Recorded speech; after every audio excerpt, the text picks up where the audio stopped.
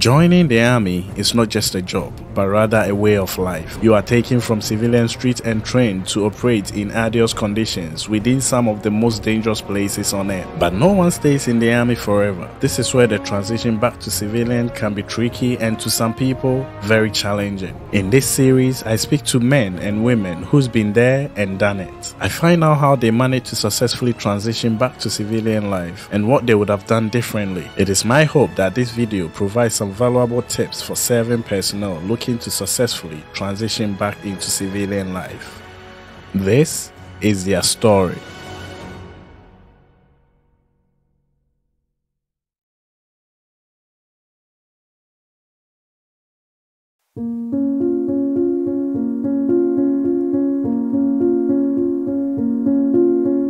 My name is Lawrence Amoah.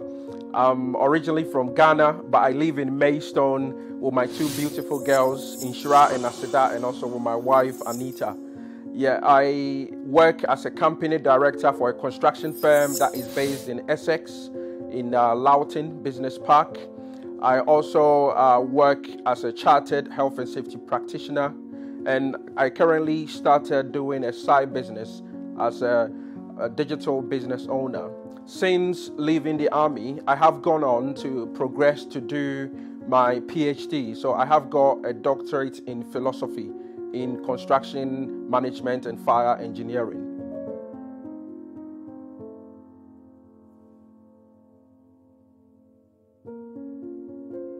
Uh, I would say yes and no. Yeah, uh, growing up in Ghana, uh, when I completed uni, UCC, uh, uh, I had wanted to join uh, the Ghanaian army, but for one or two reasons, I wasn't able to join.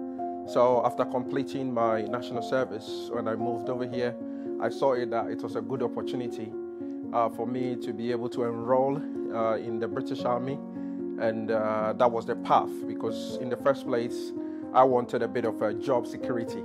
So uh, I did a lot of manual work in since I came to the UK at the time, doing a bit of security uh, working as a parking attendant. I didn't see it as a very secure job for me. So there was the need for me to find a very secure job. So that was one of my main reasons why I enlisted in the British Army.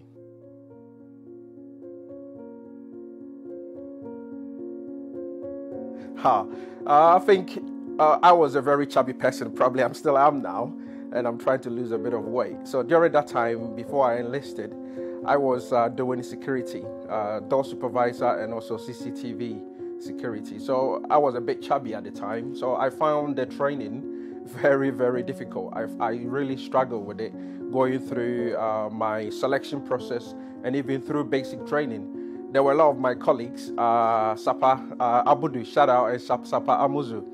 They were very helpful because uh, Abudu, for instance, he was a very fit lad so most of the time during the weekends, he was taking out for runs. During the weekdays, he was taking out for runs during our selection process and also during uh, training. So he was very instrumental. So I wouldn't say uh, it was easy. It was very difficult for me. I even sustained an injury, a groin injury, during basic training. And most of the time, when I remember when we were at uh, Gibraltar Barracks, most of the time they send us to run around piano, and everybody will be running around but I was always the last person when we're doing when we're giving those kind of I would say I wouldn't call them punishment. They call it thrashing when they were thrashing us. So I didn't find it easy at all. Also, I couldn't swim.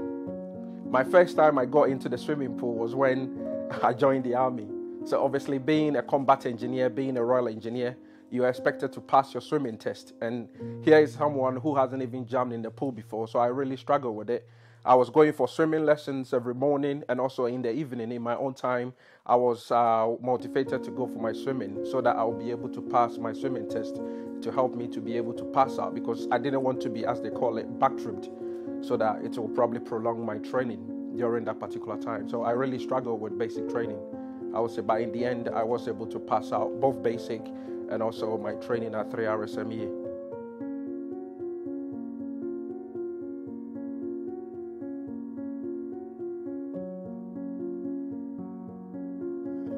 I think uh, I did my training at uh, Lichfield. So when I arrived at uh, Staffordshire, uh, what you call it, station, we got picked up. There were about almost 32 of us. We got picked up by a military van. And when we arrived at the camp, the first person who met us was a sergeant, our troop sergeant at the time. And he said to us, Do you guys realize that when you finish your training in about 18, 6 to 18 months' time, you could be deployed to Iraq or Afghanistan because that was when the Iraq and Afghanistan war was being fought. And you could die at the time. So whoever is willing to proceed with the training, stand on one side. If we're not willing to proceed with the training, stand on another side. So that was uh, a lot of thinking and a lot of th- uh, thoughts going through my mind at that very time. Should I move to the right side where I want to continue with my training or start with my training? Or probably, yeah, and probably in about six to 18 months' time, or possibly being a loser and just join uh, what you call it, uh, the coach, and go back home. But that wasn't a choice that or a decision that I was willing to make because I was motivated to be able to uh, start with my training and also ultimately to be able to pass out. So I did not give up at a particular time.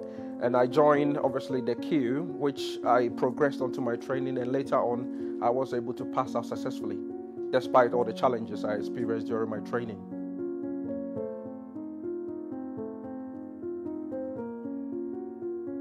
Uh, my first posting initially, I wanted to, I had wanted to be posted to Germany, but I didn't get that posting because a lot of people had chosen it at the time. So my first posting was in Ripon, in North Yorkshire. I would say they expected me because coming from a training, they expected me to be very fit and obviously to be able to fit straight into uh, what you call it, the army life within my troop. But here was the person, or here am I, suffering with uh, lingering with an injury at that particular time, which I had not healed.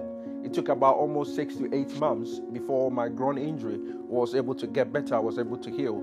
So the following Monday, yeah, there was a PFT, yeah, personal fitness test that was uh, organized for us 1.5 mile, and we were expected to pass it under 10 and a half minutes. I really struggled with it, even though I passed all my press ups and the sit ups. That was very easy but the running, I still passed it, but I really struggled. I just passed and nicked it just by a few seconds. So I really struggled at the time. But luckily for me, or I wouldn't say probably, luckily or unluckily for me, uh, within three months after I arrived at my uh, in the field army or within camp, yeah, we were deployed. We were about deploying to Afghanistan, and that was my first tour of Afghanistan for six months.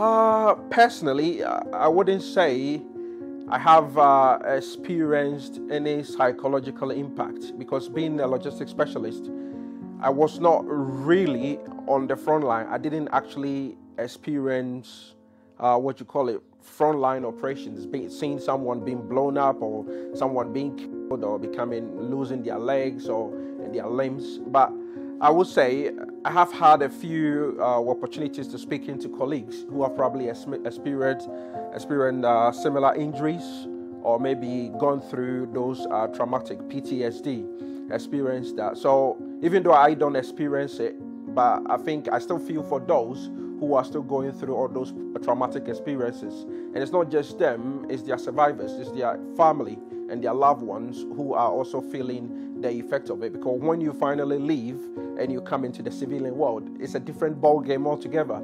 You have to be able to fit in and such people normally struggle to be able to fit in with the civilian world.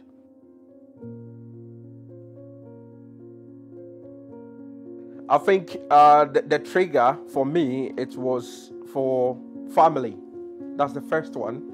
And the second one i will probably say was down to my career path the path that I wanted to progress, obviously, in my career, because it got to a point I realized that I had done six and a half years and I wasn't really progressing in terms of ranks within the army because I had several injuries, uh, what you call it, uh, with, my feet. So, and out within the army, unless you are very fit in the army, uh, career progression is very limited for you, especially within the Royal Engineers. It was very limited for you. So, I thought that at the time I had probably peaked and I should find something else to do. So the first one was family, so I could spend a lot of time, obviously, with my family, and also my career progression to be able to go out into the civilian world and obviously find a career that I wanted to do that will help me to be able to progress on uh, on myself, develop personally, and also to be around when my family needs me.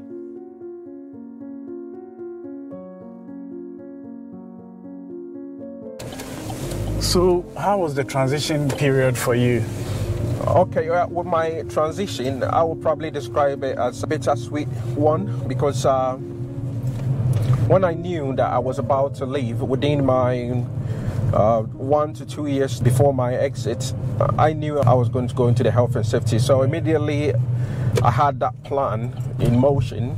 I decided to enroll my course myself on the uh, a master's degree from the University of Sunderland. So I was doing that as a part time, doing my uh, university, uh, what you call a degree, my MSc online, and also serving as a full time soldier. Obviously, at that time, I had already put in my uh, termination, notice to leave my, the army. So I was also transitioning into the civilian world. So there was a bit of flexibility for me to be able to uh, have enough time to do my studies and uh, combine it, obviously serving uh, what you call it full time as I was preparing to leave the army.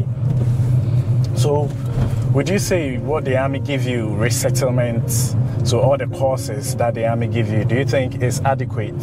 For me, majority? for me, because I wanted to go into the health and safety, I think it was very good for me because I was able to use my enhanced learning credits I was able to use those amounts that you get. I think at the time it was about a thousand pound after you've done, maybe I'm, i stand to be corrected, about three or four years. I don't know whether it's still the same. Yeah.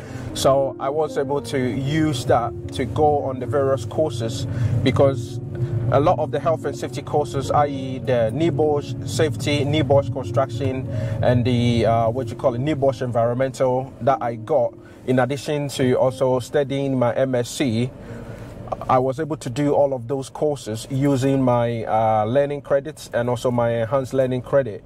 The, uh, the funding that I got, that was what I was able to use. For, for me, I would say that it was really good for my settlement. But if you are going to be doing in any, uh, what you call it, any other ventures or any other career path, I think that you can use those credits also to pay towards uh, some of the amount towards whichever course because I know a few friends who went into doing working for BT, becoming oh, a BT okay. engineer, who were able to use that amount to pay for towards uh, similar courses because their courses were a bit more expensive. Another colleague of mine, he went into being a, coming a, a crane operator, and the course was about three and a half grand so he used part of that money, some of that enhanced learning credit, the thousand pound, to make that particular payment towards that course. So, depending on any field, any career path that you decide to choose, I think there is a possibility to be able to use that money. And there are also a few people who probably didn't have any first degree at the time. So if you didn't, you don't have any first degree, then you can also the army and you've done a four-year service at the time. I don't know whether it's still the same. You are they, they will pay for you to go and do a full-time degree they will pay for you to do a full-time degree. So there's a colleague of mine also who went on to do a BSc in pharmacy, and now he's working full-time for NHS in the uh, what you call it, the uh, uh, Dartford Community Trust. Oh, working so basically for the NHS. you have to look for or you have to research what you are entitled to. Yes, mm. and uh, there is a lot of uh, what you call it the career transition uh, team or the officers. Sometimes some of them are very good, depending on the regiment that you are. Mm. Some of them might give you very false hopes yeah. and advices. So it, it is it dependent on you as the individual because you are you are you are going to be having your own career path that you want to follow. Yeah. So some of the advice they give are very good. Yeah. Some of them I would say not very so good. Say I'm in the army. Yeah. And I'm going to leave. Yeah. What will be the strategy? For me, I would say uh, what you call it. In addition to planning, planning is obviously the most important thing to do. Is the ultimate. For the first thing I would probably say is you have to make sure you've got enough savings. Okay. You have to make sure you've got enough savings. Savings is very important. When I left the army, it took me about three to four months before I was able to find a decent job or the, the career path that I wanted. So it wasn't easy. I was staying at home, going to the job centers, and also I had to apply at a point in time for. I had to apply at a point in time uh, for uh, what you call the support from support. the government, i.e., from the job center. So if you haven't got a, a savings which is going to serve you as a buffer, then obviously yeah, you have to think twice about it if you are planning of exiting or leaving the army. The second thing I will probably say is uh, family. You have to plan and or you have to prepare your family about the exit because when you are in the army there is a lot of comfort that come with it because at the time i remember i only had uh, one child but the army had given me a three bedroom house with a garage yeah. When leaving the army except maybe you've got enough savings out there to go and probably pay a deposit for your own mortgage. If you're going to be going down the council route to applying for accommodation, having just one child, there's no way you're going to get a three bedroom house because there is already scarcity on accommodation. Yeah. So it was a bit of a luxury for me once I was in the army, living in a three bedroom house with a garage. So you have to prepare your family because there's a lot of dynamics there's a lot of dynamics out there when you've left the army. You have to prepare your family. So, and the next one, the next point I will probably say is uh, about networking. Because here is someone who is completely green. You are completely green and uh, you, all your colleagues, you don't know anyone on the civil streets, or you probably have a few friends and family out there, but I'm talking about professionally. Mm-hmm. So you have to start prepping yourself, start networking. So if there are any events that you get as part of the career transition partnerships, sometimes maybe Barclays has got a program, uh, and there are a lot of companies out there nowadays who want to recruit personnel coming leaving the army because they, they need our skills. They need the discipline, the commitment, mm-hmm. the loyalty, and the integrity that will bring into the corporate world. So if you've got such experiences, such skills, even though it might not be directly related to the role that you're going to go, but you, it becomes a transferable skills that you can easily pass on to be able to fit any within any company yeah, yeah that they want so I would say networking. You also have to look at probably uh, updating, or if you haven't already, go one, setting up a page on your, your LinkedIn. LinkedIn, okay. Yeah, because that is a professional way. So it's all about marketing, isn't it? It's you can have the best product if you don't market it and exactly, someone. exactly, yeah. yeah. So if you need someone to professionally help you to be able to update your CV, then obviously go ahead. Go ahead. Mm. You can even pay for the army helps you to uh, to put together your own CV. You can get free reviews on LinkedIn, and sometimes you might have to pay a small fee for people to help you to update your CV. So instead of having the uh, military, uh, what you call it, specification or speak on there, they're able to put a spin on it and transfer your skills, obviously, into the civilian world. Civilian, yeah. So when you your your CV appears in the front of, uh, let's say, HR manager who is recruiting for, let's say, HSBC uh, Bank or recruiting for uh, BT or recruiting for Virgin, they will be able to understand those terminologies, that those military jargons yeah. that you're putting out there, and that's what the professional CV writer are going to help you. So, you said something about digital business. What can you tell me more about that? I would, I would like to, you know, get to know about it. Yeah. So, uh, last quarter of last year as well as working as a full-time chartered health and safety professional and also a, a company director. As I said earlier on, as Oliver Twist, I always want more because I've realized that I've got a lot of responsibilities back home in Ghana and I've got a few projects that I'm delivering in Ghana as well.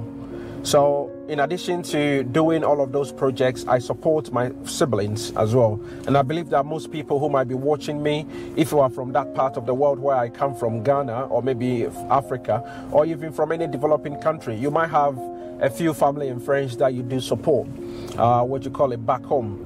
So there was the need for me to be able to make or earn additional income. There was the need for me to be able to make additional income so that at the end of the day, the income or the money that I'm getting from my nine to five work is not going to be squeezed.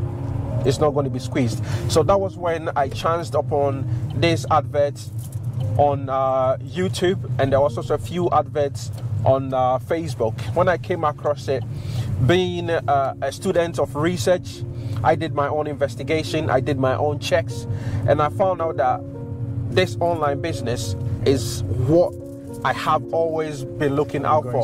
yeah, yeah. It's was what I've always been looking forward out for because I knew it had the potential because there were a lot more people who are already doing it. At the minute, our community has got about 115,000 people. Okay.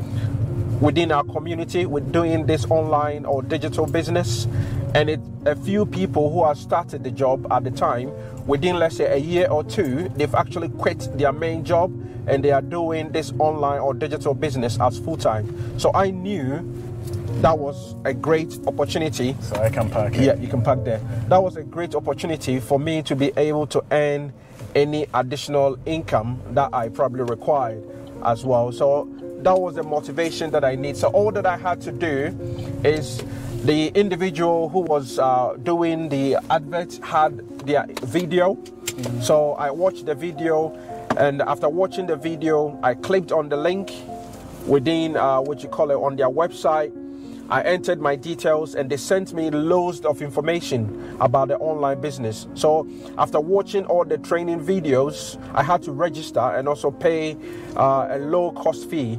And the best part of it was that low cost fee that I paid, there was a 30 day money back guarantee on that low cost fee. So after looking into the business, if I wasn't happy with it, I had 30 days to be able to get my money back. But of course, I didn't get my money back because here I am doing the business. Because mm. after looking into it, I realized that that was exactly what I've been waiting for. Mm. That is exactly the business that I've been looking to do because I could do it part time, I can do it from anywhere because all the only thing that you needed was access to a smart device, i.e., it can be your laptop, it can be your desktop, it can be your tablet, or even your mobile phone, and also Wi Fi or internet connectivity. That's the only thing that you needed. So, guys, if you are interested, you can visit my website www.lawrenceamoah.com, www.lawrenceamoah.com, or you can go to my Facebook page, it's the same name, Lawrence Amoah. Check me out send me a DM, send me a message. I've got my mobile phone on there as well. You can contact me, you can uh, uh, contact me, message me, and I will give you more information about this digital business. And I promise you that you will never regret yeah. that, uh, what you call it, you've looked into this business because I am doing it and it's helping me to realize the additional income that I need on the side as well. So look into it and uh, you'll be glad that you did. And you can become my business partner in the next couple of weeks. Yeah. Um, I'll put a link in the video description as well, so to make it easy to go on. So finally, final, final, final, in a brief statement, what will be your final words for people who wants to leave the army? Yeah, my final words will be probably going back to the points that I I will reiterate the points that I mentioned earlier. Yeah, it's about savings because you don't know what is on the other side of the wire, as we normally say within the army. So if you haven't got enough savings, then that probably is not the right time for you to be able to live. You have to obviously now the cost and the standard of living is going up. It's rocketing every day. So the first thing that you're probably going to be hit with is probably if you haven't got enough savings, your rent that you're going to be paying, or maybe your mortgages that you're going to be paying. That is going to be very painful, and that takes a chunk, if not a third, almost about half of the money that or what you call it you'll be making on civilian street. Yeah so savings is always very good. Prep your family. You need to prepare your family as well so that in, in case they develop the shock absorbers. Mm-hmm. in term, in case that there is any uh, what you call it any shocking changes in their lives probably they could have got enough time or there isn't enough money coming in then they will be prepared for it they will be prepared for it because sometimes people leave and the army because they haven't prepared there is a lot of shock and they uh, uh, revert to probably alcoholism, drinking, doing drugs, and all of that. You don't want that to happen to you because otherwise, it's just going to cause a broken family. You're probably going to lose your wife. You're probably going to lose your kids, or your kids will probably wouldn't want to probably see you anymore. So, savings, obviously, prepping your family for your exits, and also the last one I talked about. You need to network. Start networking. Get yourself ready prepare a CV or get someone to help you to be able to prepare your CV. And once you've done all of these things, the overall thing will be the God factor. Mm-hmm. You need to be constantly praying. Yeah, wherever religion that you belong to, if we're a Muslim, uh, if we're a Christian, which I am, so I'll be, I, I believe in prayers. If any form of religion, then obviously, then you have to commit yourself to it and make sure that obviously you are doing your best to be able to provide for the needs of your family and your loved ones. And as you know, those are the very important things why we exist and why we are. So, is it doable? Definitely. If I can do it, then uh, everybody else, everybody else can do it.